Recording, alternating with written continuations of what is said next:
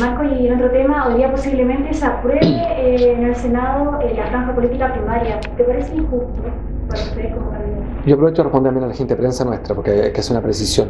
Solo lo que hemos dicho es que nos parece que lo de la franja no es un problema de justicia o no justicia. Nosotros no estamos de espectadores de esta elección presidencial, somos protagonistas.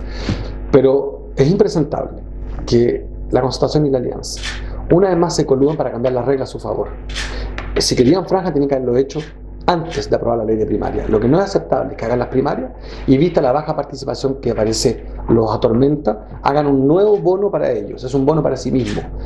Sorprende además que el Senado, que nunca tiene tiempo, que se demoró 16 años en aprobar la ley de bosque nativo, hoy día tenga todo el tiempo del mundo, como lo acaban de anunciar que van a discutir toda la tarde, sin límite de hora para su propio beneficio. Pero por último, yo tengo un consejo a la concertación de la Alianza. Puesto que están anunciadas lluvias para este mes, puesto que va a hacer frío el domingo 30 de junio, ¿por qué no cambian la fecha?